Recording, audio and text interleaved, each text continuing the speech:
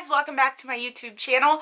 Today I'm going to be doing another story time video with you all because I think a lot of you guys actually kind of like them. I told you guys in my previous story time about how my ex-boyfriend cheated on me, the one who was deployed. If you guys haven't seen that video, I'll have it linked up here for you guys. The same guy convinced me to invest money that I had made on my deployment into a company that ended up being a total complete fucking scam. So when I tell you guys like I was pissed the fuck off about this, like not only did this bastard cheat on me, he freaking helped me waste my fucking money. So when it all comes down to it, it is my fault because I didn't do I mean, I did research though, but I just trusted people. You can't trust anybody in the world that we live in today, which is just pathetic. My ex-boyfriend had been dealing with this company that did stocks and trades and I honestly had looked into investing my money while I was deployed. I looked into IRAs, which is what I should have done, and I looked into um, like Edward Jones and stuff to just try and figure out what I would like to invest my money in and what was the best option for me. Well, I kept going back to the fact that my boyfriend had kept posting these pictures on Instagram about all of this money that he had made from a company he invested in. And it's like you were supposed to invest five grand in this company and then they would in turn buy properties and then flip them around and sell them and then the money would be distributed evenly to everyone that was involved with this company. It's just something fucking weird like that. I'm not I'm not intelligent enough for the stocks and trades and all the shiznaz that was going on with the whole situation. But I did call and talk to the guy that was in charge of it to try and see if I could understand it.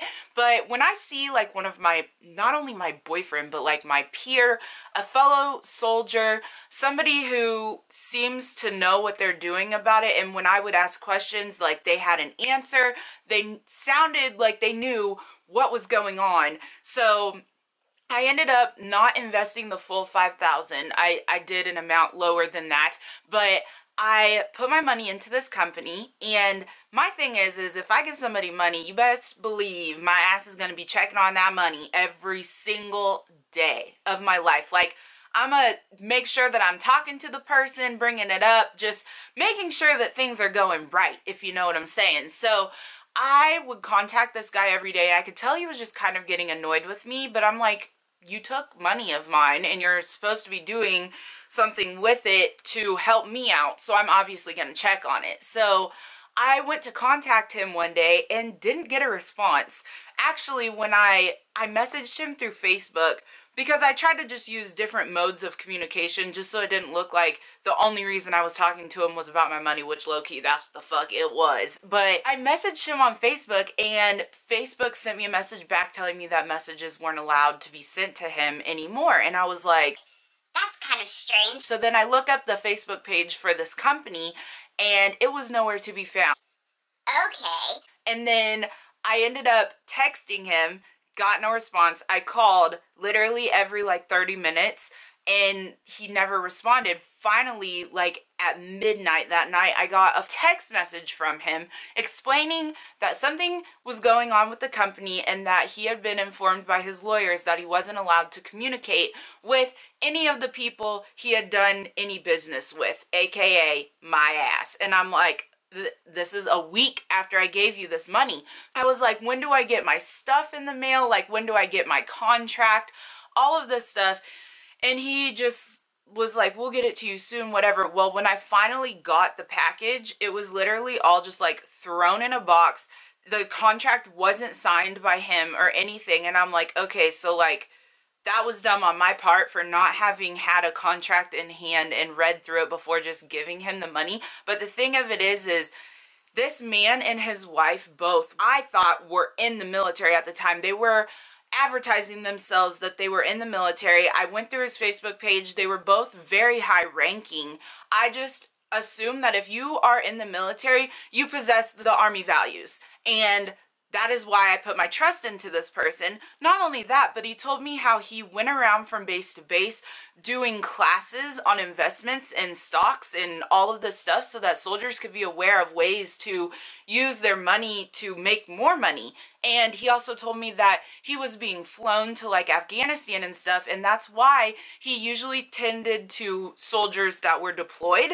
And I, at the time, the only concern that I had was like, who's paying for this? Like, who's paying for you to just up and fly to Afghanistan, you know? So I just said, you know, like you guys are just sitting in the damn room with me. He even volunteered to come and do a class at my unit. And I'm so glad that I didn't put myself through that at all because that would have been hella embarrassing. He ended up just giving me the runaround. So when he told me that he couldn't talk to me anymore, his exact response was, everything that you need to know about the situation is on Google. Just Google me. Okay, so I Googled the situation and pretty much what had happened is like the FCC or the FC some FC, whatever the fuck it is, if they had put out this thing on the internet taking him to court for scamming military service members into giving him money with the intentions of him using it to buy stocks and bonds and flipping it around, it ended up being that he was pretty much just scamming soldiers for their money. And I was like, what the fuck? So he ended up having a court date. I made sure to follow up and look at all the court documents.